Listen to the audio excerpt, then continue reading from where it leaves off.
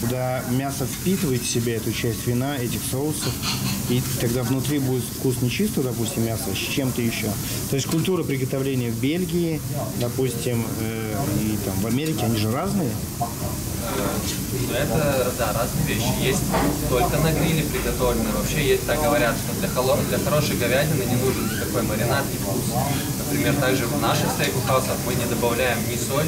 Есть отдельные, отдельные стейки, которые маринованы, но их мало. Мы ушли от маринадов. Раньше у нас были все стейки, буквально 2-3 вида мяса, но все разными маринадами.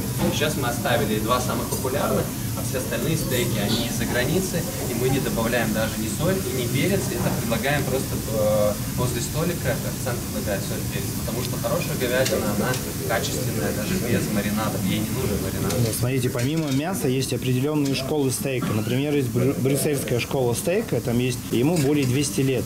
И у них помимо того, что это кусок мяса, у них есть своя школа приготовления, которая, ну, какие-то вещи запрещает. И вот когда вы готовите, вы придерживаетесь какой-то школы Это, или... это классическое приготовление, да, просто А кла- классическое чье? Португальское?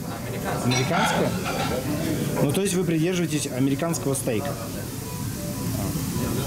можно так сказать. Я не особо осведомлен про брюссельскую школу стейка, Да.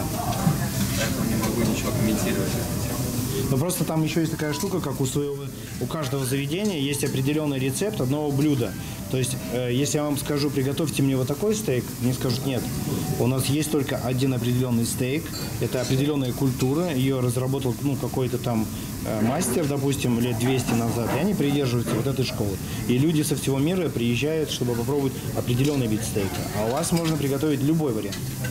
У нас э, есть, да, есть различные виды, одни из самых популярных э, кусков мяса из говядины, что можно достать, да, и мы всех приготавливаем э, просто на гриле, жарим, и э, как бы сама основа качественная мясо. Но у вас вашего фирменного, который только есть у вас, и больше никого, такого нет. Да? Сложно сказать, потому что у каждого фирменный стейк на любителя.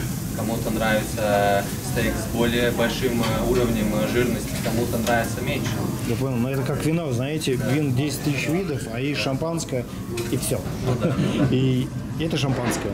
То есть у вас нет такого подхода просто, да? Думаю, мясо будет готово, и у нас есть время, чтобы я сейчас порежу его и тогда подадим к столу.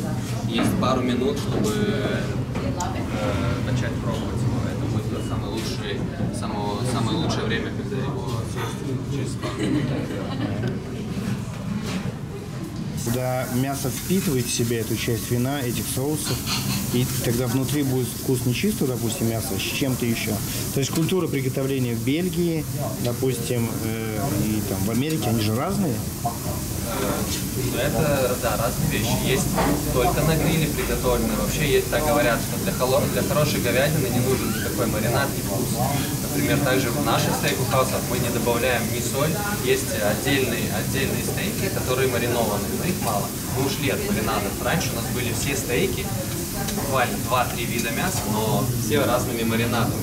Сейчас мы оставили два самых популярных, а все остальные стейки, они из-за границы, и мы не добавляем даже ни соль и ни перец, это предлагаем просто э, возле столика, официант предлагает соль и перец, потому что хорошая говядина, она качественная, даже без маринадов, ей не нужен маринад. Смотрите, помимо мяса есть определенные школы стейка. Например, есть брю- брюссельская школа стейка, там есть знаменитый ресторан на Клемансо 67, Да. и ему более 200 лет. И у них помимо того, что это кусок мяса, у них есть своя школа приготовления, которая, ну, какие-то вещи запрещает. И вот когда вы готовите, вы придерживаетесь какой-то школы Это, или... класси- это классическое приготовление, да, А просто кла- классическое чье? Португальское? Американское? Ну, то есть вы придерживаетесь американского стейка. можно так сказать. Я не особо осведомлен про брюссельскую школу стейка, Да. Поэтому не могу ничего комментировать.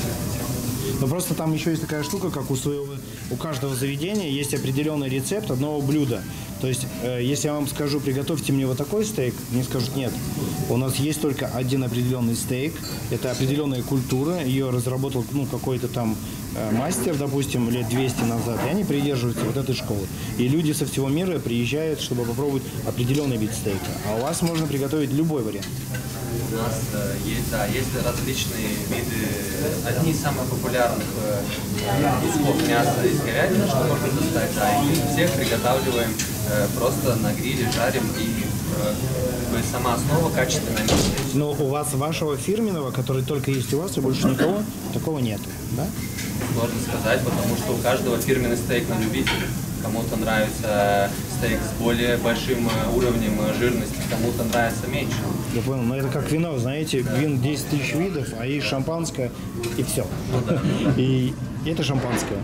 То есть у вас нет такого подхода просто, да? Думаю, мясо будет готово, и у нас есть время, чтобы я сейчас порежу его и тогда подойдем к столу. Есть пару минут, чтобы э, лучшее время, когда его съесть через пару минут. Tur ir ā, sanāk, līdz 16 mēnešiem viņa ir barota ar zāli, un pēdējos četros mēnešos viņus piebaro ar graudiem, graudu maisījus. Tas padara to gaļu tauku, tauku līmenis vairāk, un līdz ar to ir sudīgāka un labāka ā, gaļa.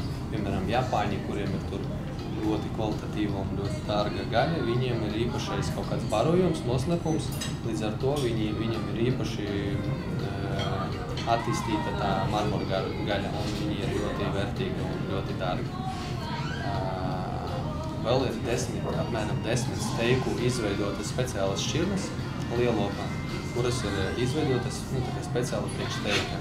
Tur būs uh, angus, herefords, limuzīns. Uh, šitais ir melnais uh, tās šķirnes ir labākas par, par tiem, kuri nav priekšsteikiem, līdz ar to, ka viņi ļoti ātri var sakarāt taukus, un tieši priekšsteika tas arī ir vajadzīgs. Tas, tā, tā, tās būs tā jostas daļa. Tad pagatavosim viņu. Kopā pasniegsim ar zaļu mūsu viestiņu kausē.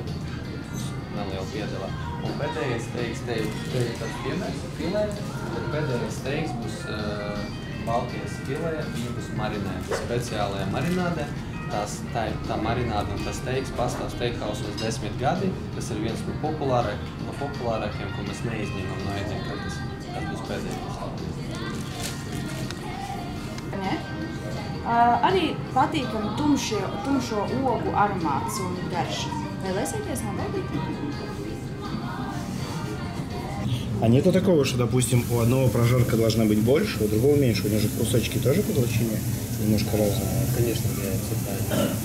Если больше или меньше кусочек, естественно, если одно время жарится, Ну, влияет. вот у этого вида стейка он будет прожарка больше или не будет? В плане. Ну, по сравнению с чем? По сравнению с предыдущим? Предыдущим, да. А, просто мы все одинаково прожарки сегодня даем средний, его просто чуть дольше надо будет пожарить.